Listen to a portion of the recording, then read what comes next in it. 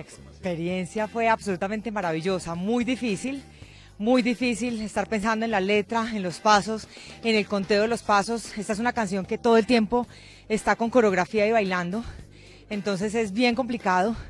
Con mayor razón admiro doble, tres veces, cuatro veces más a las personas que están en Tu cara me suena, que solamente tienen dos días para hacer el montaje de cada personaje, que cantan en vivo. Para ellos, de verdad, mi total respeto y mi total admiración, porque de verdad es un trabajo bien difícil.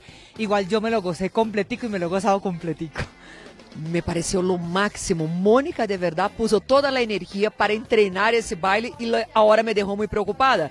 Porque puso esse nível muito alto para mim. Eu não sei que personagem me vai tocar, pero confieso que depois de ver a Mônica hoje, me quedei com muito medo. Ai, não sei o que me vai passar. Eu não sou capaz de fazer esse baile.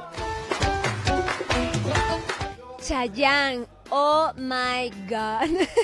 Lo máximo. Bueno, Chayanne, el ídolo de tantas alrededor del mundo, un papacito. Y pues Moni lo hizo increíble, se aprendió los pasos, se aprendió la canción, cantó. Así que nada, un éxito total.